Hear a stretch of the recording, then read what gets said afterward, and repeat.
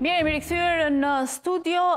Tashmë e gjithë vëmendja është përqendruar tek hetimi i asaj çfarë ndodhi në Banjsk të Kosovës me 24 shtator, duket presidenti Vuçiç ka bërë një deklaratë disi të papritur kur tha se Radojiçiç mund të dënohet edhe pse në fakt këtë duhet ta vendosi drejtësia dhe jo presidenti i Serbisë, ndërkohë që tashmë duket se ka edhe një farë sfidimi që i ka bërë Perëndimit duke udhëtuar drejt Kinës në të njëjtën kohë, në të njëjtën tryezë, në të njëjtin takim me presidentin Vladimir Putin. Do diskutojmë për të gjitha këto kam në lidhje të drejtpërdrejtë avokatin Çedomir Stojkoviç. Zoti Stojkoviç, mirëmëngjes, faleminderit që jeni me ne sot.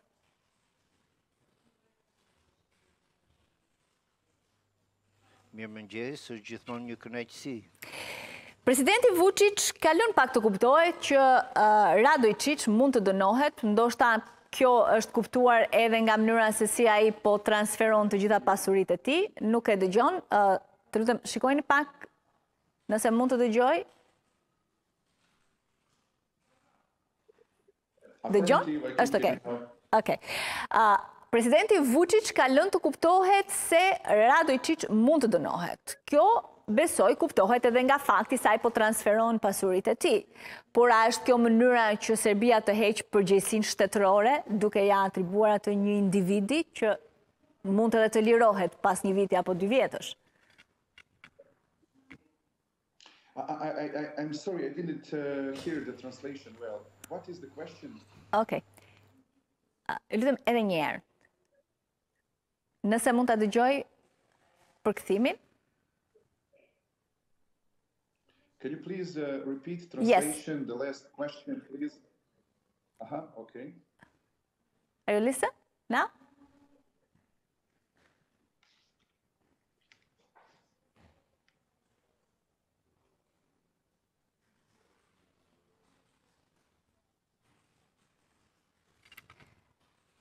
Mirë, e provojmë edhe një herë nëse mund të dëgjojë.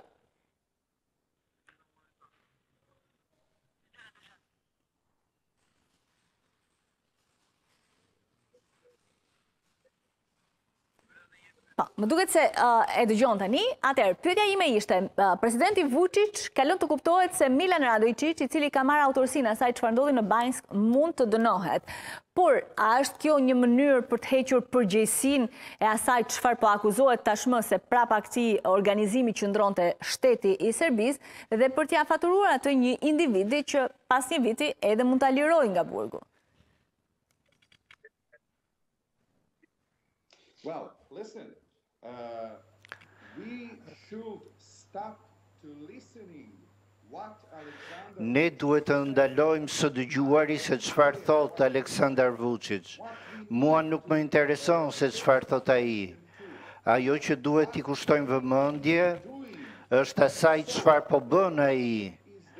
Radojçiç është një njeri i lirë, ai nuk është i ndaluar, nuk është në burg. Askush mes disa dhjetëra njerëzve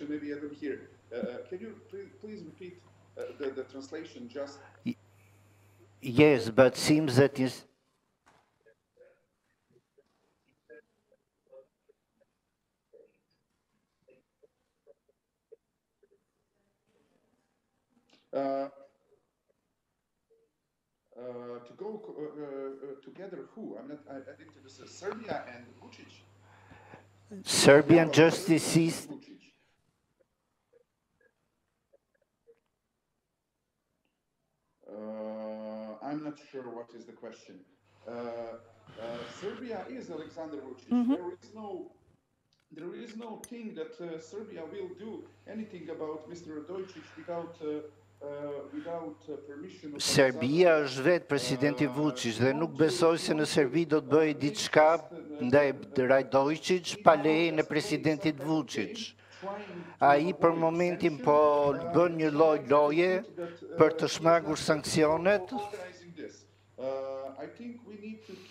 dhe mendoj se duhet t'i mbajmë gjërat të thjeshta.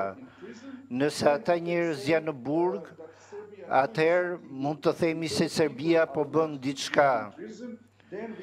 Nëse nuk janë në burg, atëherë vërtet duhet t'i sanksionojmë, duhet ta sanksionojmë Serbinë. Pra kemi të bëjmë ose terroristët në burg, ose jashtë burgut. Nëse janë në qeli, kjo do të thotë se Serbia nuk do ta përsërisë këtë veprim në të ardhmen. Nëse terroristët janë të lirë dhe të tillë janë, Atëherë do të thotë se Serbia do të mund ta përsërisë këtë skenar.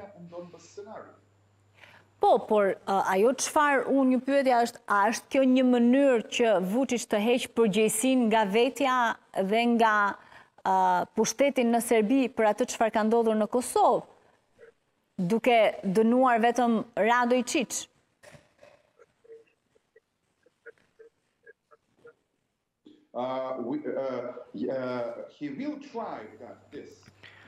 Ai u përpoq, por gjithçka nis në pikën kur dikush përpiqet t'i komplikojë gjërat.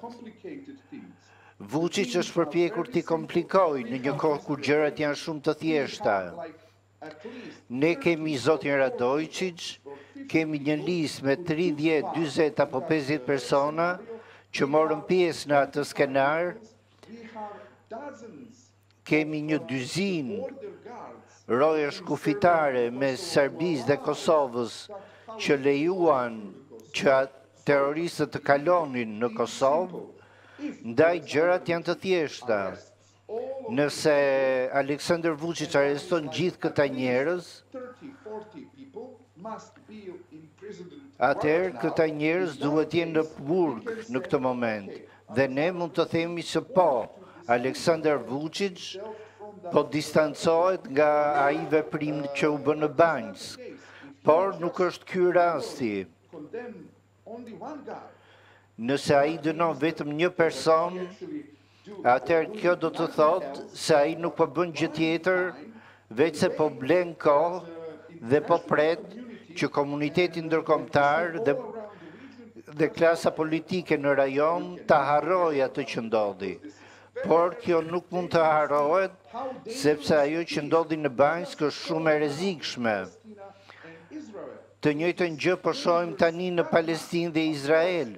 Është po aq e rrezikshme. Serbia dhe kosovarët nuk janë si Palestina dhe Izraeli, por mund të shohim se sa lehtë mund të përkeqësohet situata. Dhe do të kishte një katastrofë nëse do të ndodhte në rajonin tonë. Prandaj dhe ata tipa që morën pjesë në sulmin e Banjskës duhet të jenë në burg menjëherë. Çfarë po ndodh me kallëzimin tuaj që keni referuar shumë institucione të Serbisë? Keni besim se drejtësia mund të hetojë dhe ka fuqi të hetojë?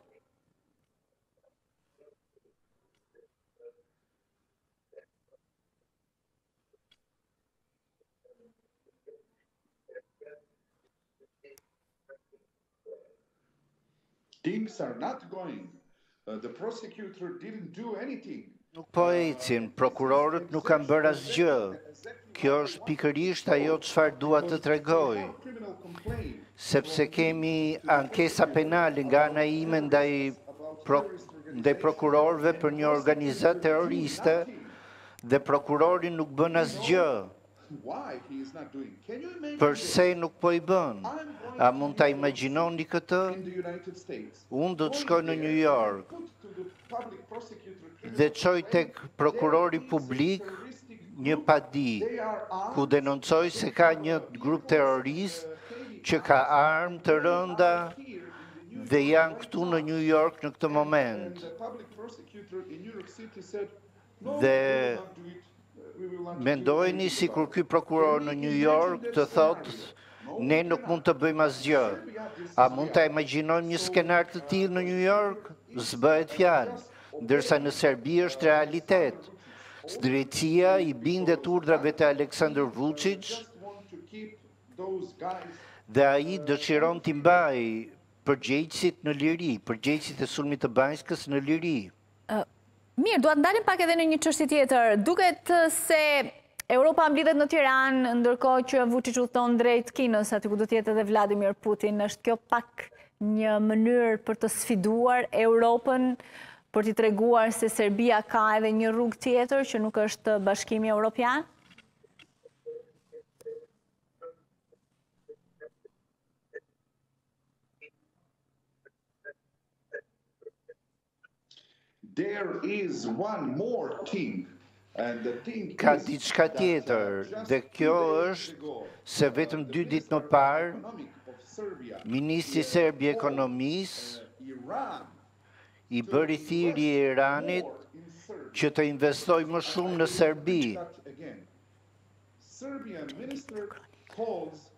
E përsëris, ministri i Ekonomisë i bën thirrje Republikës Islamike të Iranit që të investojë në Serbi në këtë moment gjeopolitik të vështirë.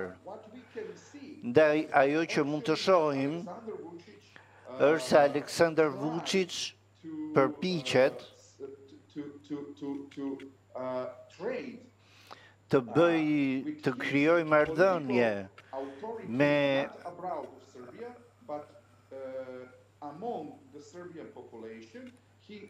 përpiqet të krijojë marrëdhënie me vende të tjera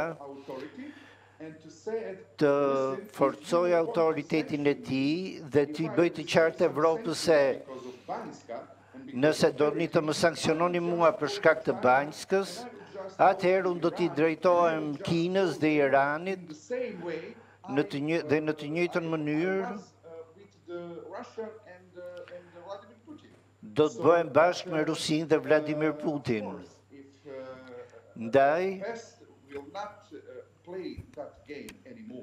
kjo lojë, por kjo lojë nuk duhet të luhet. here in the Europe, in the Serbian, in the, in the Balkan. Është diçka, por është diçka që po luhet në Ballkan dhe ka të bëjë dhe me Evropën, pasi Serbia, Serbisë i duhet bërë të qartë, je me Evropën apo kundër Evropës, je me perëndimin apo kundër perëndimit. Nuk mund të jesh një vend anti-evropian dhe një regjim anti-evropian të paktën në Evropë, dhe kjo duhet të marrë fund. Avokat, ju falenderoj shumë që ishit me ne sot. Ju uroj fundjavë të këndshme. Thank you very much, you too. See you, bye. Dhe juve, mirupafshim.